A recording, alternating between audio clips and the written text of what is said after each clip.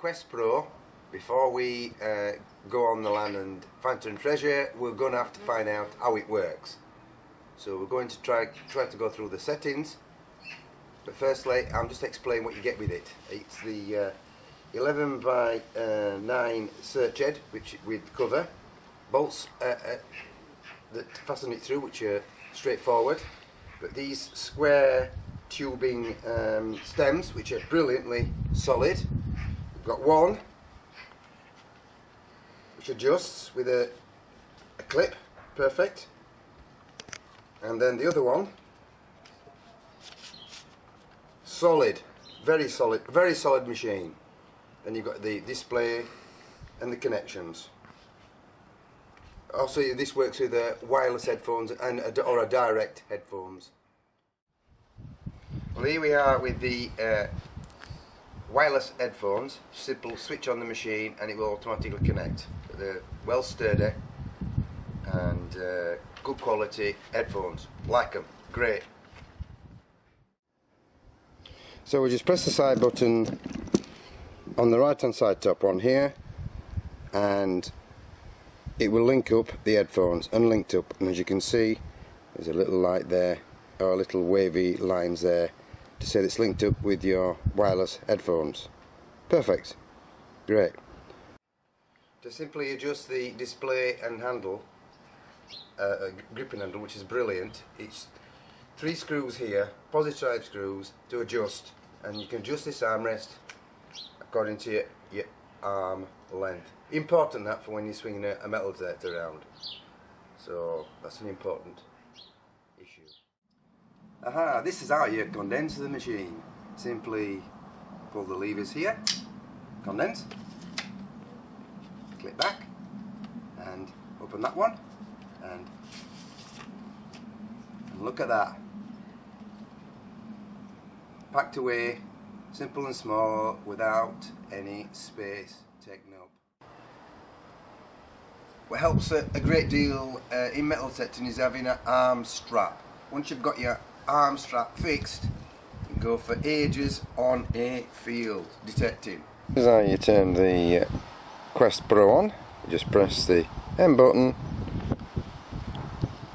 and the power goes on it's quite easy to pinpoint. All we do is press the um, target button.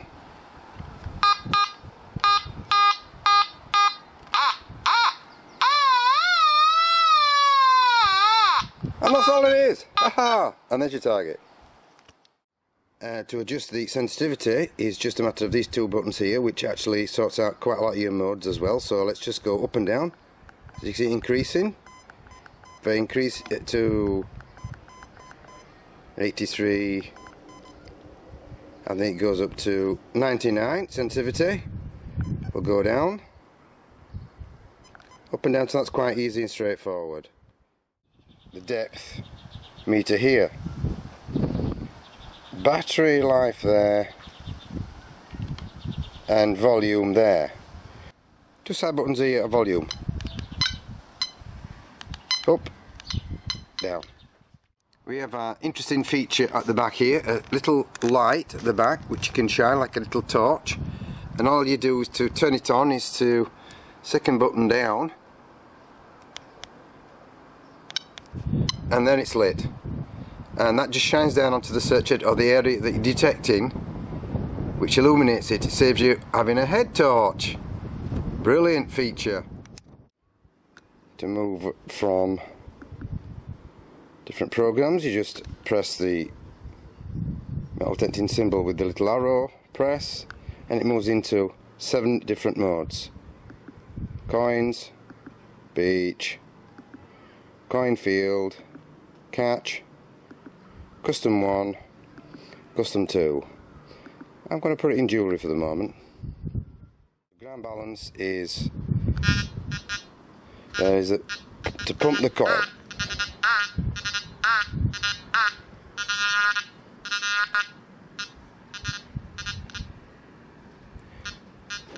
until or less it's gone away. And there you go, it's ground balanced. Simple as that. I'm going to put it back into um, back into jewellery. Just we'll try jewellery to begin with, and see and see how it goes. Disc one. These disc one, disc two are, are, are for the custom settings. If you do want to customise the detector to your requirements, fine tune, you use disc one or disc two. The other modes are just preset modes for the machine, uh, which automatically have a discrimination level to different targets and different metals. Here we are with uh, different targets to see what kind of ID numbers come out because right in the middle you've got an ID number. Here we go. ID number 50 on a hammered coin 56 and gives you the depth reading on the right hand side. Look.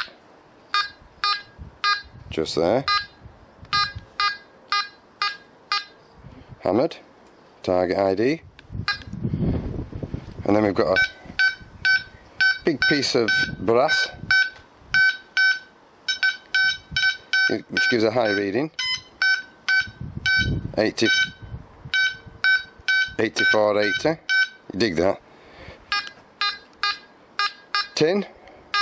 It's a small bit of tin but they got larger than that. So 50 plus under. And we've got a button 67 copper button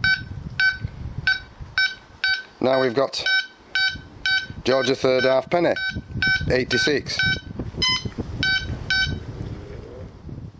copper brass brooch. It's low figures or mid-tone if you like.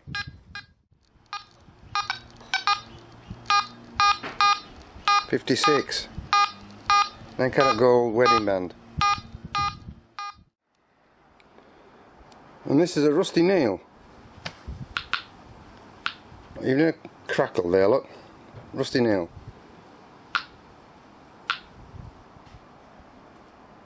Not even a noise. It's all out. See how it performs in this field. Here we are with the Quest Pro. Trying it out.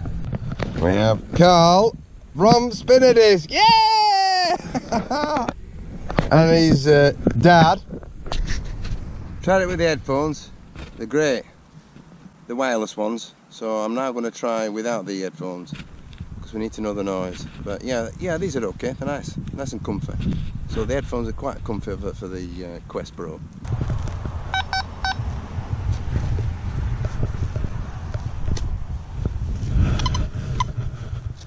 Well, it is foil.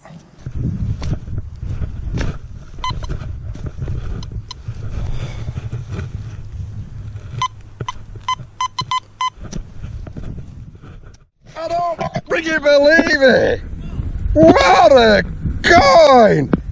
Oh, this is unbelievable! What a coin! This is just the bee's knees with me Quest Pro. Look at that.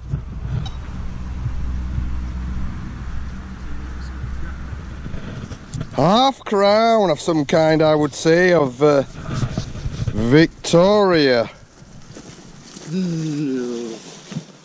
Oh my god. Oh, look at the condition of that man. It's a beauty, that, isn't it? Oh, what do you think of the machine? that is, people won't believe that. Oh, let's have a look at that. It's a quality, nice signal. Jesus What did it come in Christ, that one lost. That, 91. that one lost. A belt of a coin.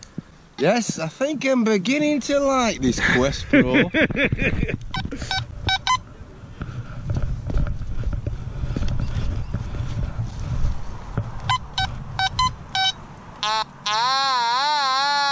Pinpointing.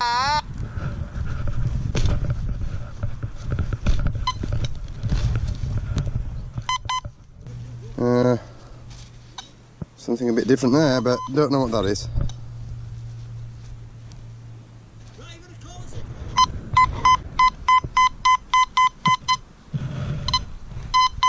Eight to eighty-four. In the eight- eighties, that's, that's good target. That. I've got the sensitivity on high and uh, full max and sometimes it just goes a little bit but I'm putting the power on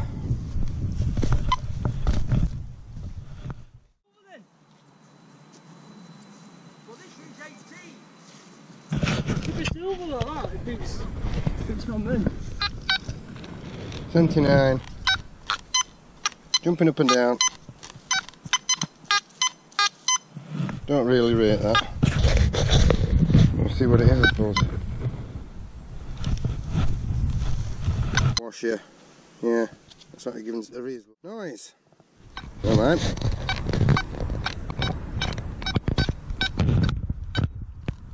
Seventy-one, seventy-two. It's.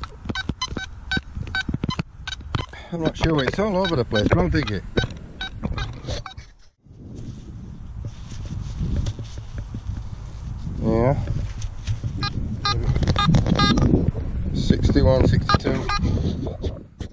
I think they're the old shotgun cartridges.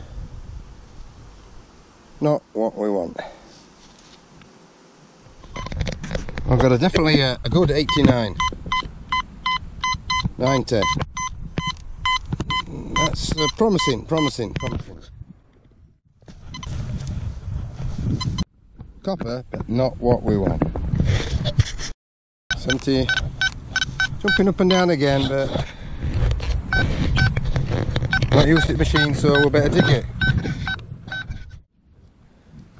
Lead pipe, so that's what jumps about. It's not locking onto a decent, solid, uniform type target. Uh, with the Quest Pro, and we've had another uh, piece of shilling. It's uh, George the um, 6th, 1941, smack in the middle of the Second World War, shilling.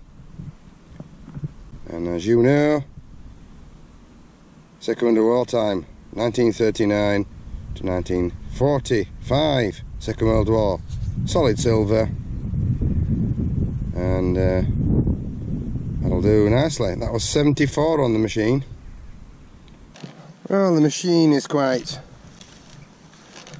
easily light, easy to move around. Once you understand the machine, I think it's going to be a great water machine, beach machine, and um, pasture and ploughed land machine. Personally, just got to understand it. Hmm. A button.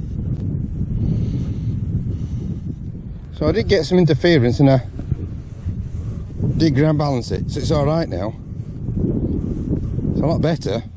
So I did ground, have to ground balance this one. 86. 86. 83. Cracking signal that. Oh, look at that. Missed that one.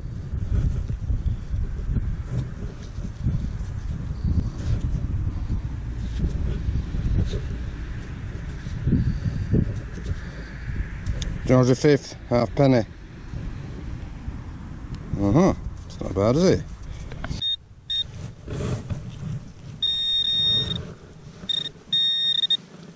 What is a coin? It's uh, George Sixth. Oh. Okay. It's ninety-five. Right. Some sort of. Could be a spoon. Think it's a spoon really. Something similar, but not as good as 95, but slightly under.